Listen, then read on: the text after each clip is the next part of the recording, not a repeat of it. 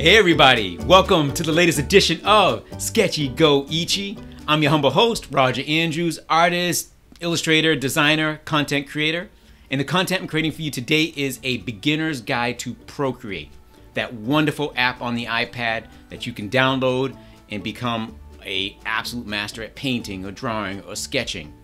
Um, the app doesn't do it itself, so I'm gonna give you this little step-by-step guide, small bite-sized videos on all the tools and, and how to use it, and I'm gonna take away and eliminate all the intimidation factor to learning a new app. So stay with me and enjoy. Sketchy Go Ichie.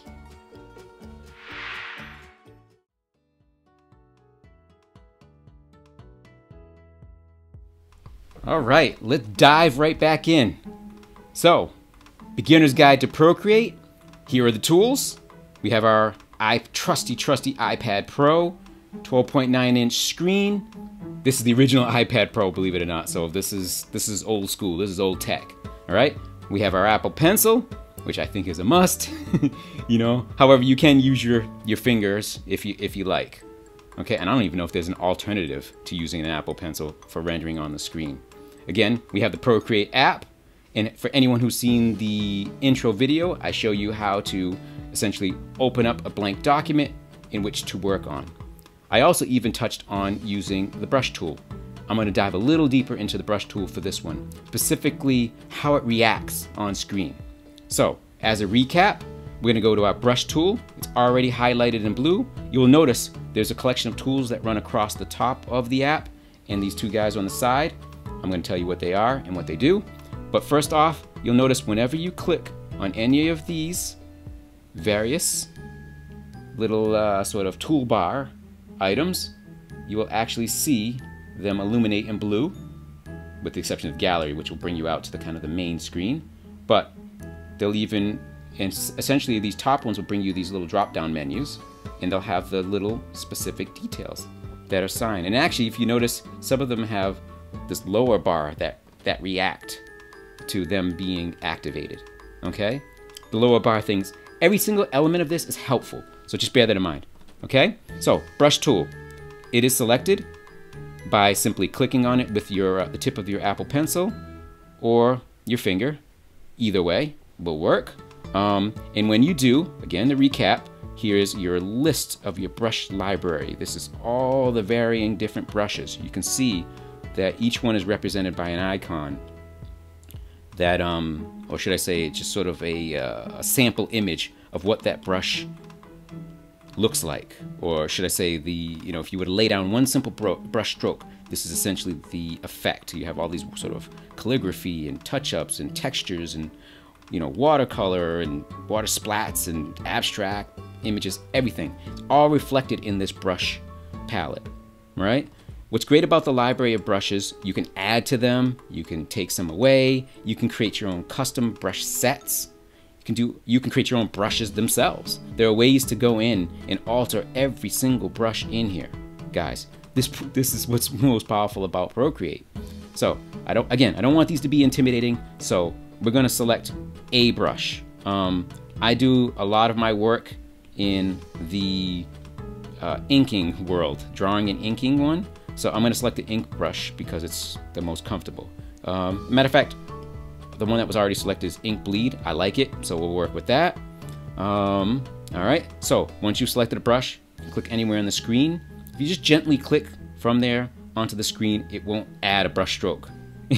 you know, now it's ready to add brush strokes, okay? So as a recap, our slider over here, this is brush size. So for an example, here's a little brush stroke. That's at the midpoint. We go a little higher. Same brush strokes, same pen pressure. Way thicker. We go lower.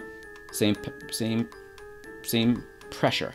Amount of pressure applied to the screen, or should I apply through the Apple Pencil to the screen, creates a much lighter stroke just simply by using this slider. Okay, this is your opacity slider. Um, opacity meaning the um, intensity of color applied to the screen. Um, it, it, the luminosity or well it's transparency it is what it is it's transparency it's it's uh, can you see can you see through it or is it opaque and it cannot be seen through? Okay, so here's where I apply a really opaque stroke, brush stroke. It's, it's midway point. Okay, as dark as it's ever gonna get, I will apply maybe to the lower end of the opacity scale. Ah, it's much lighter. Right? But that's not the that's not the major part of it.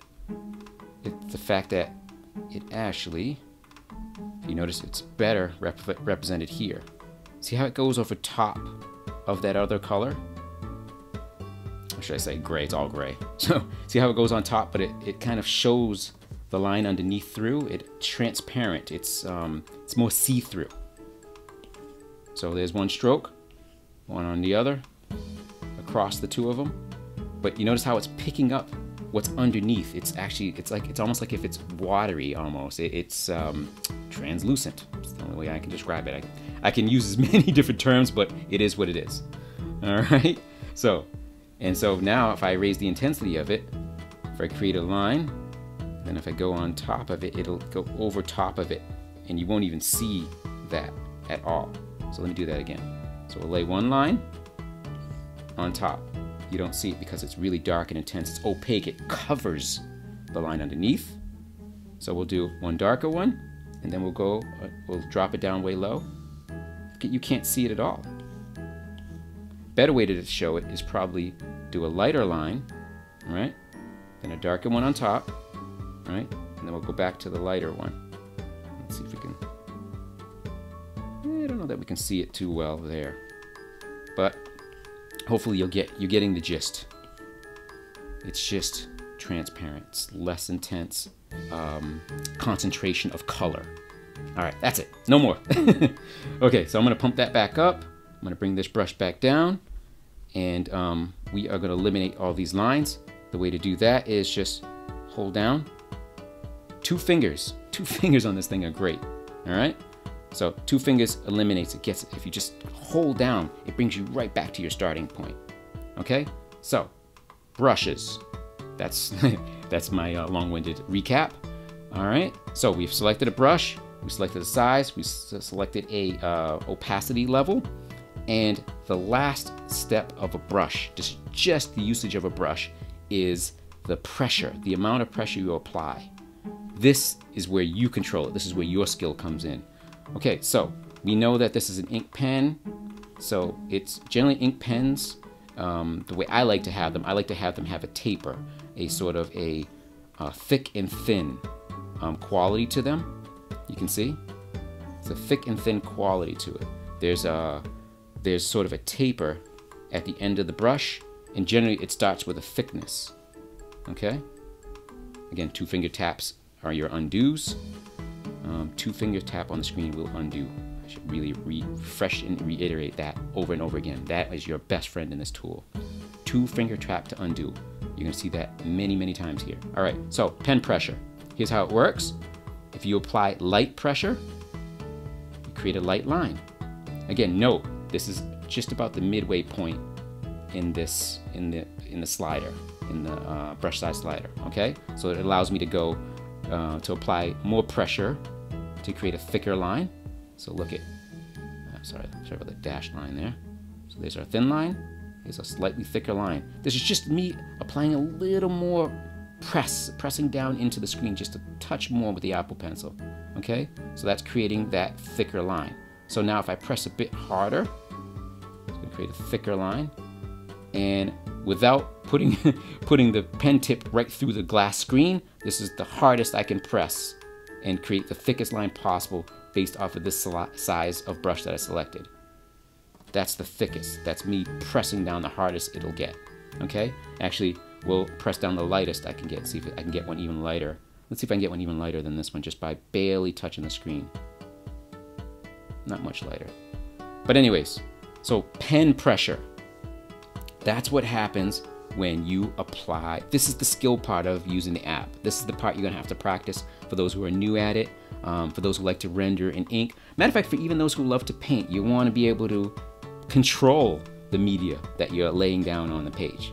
Okay, so again, two fingers, just hold them down, right?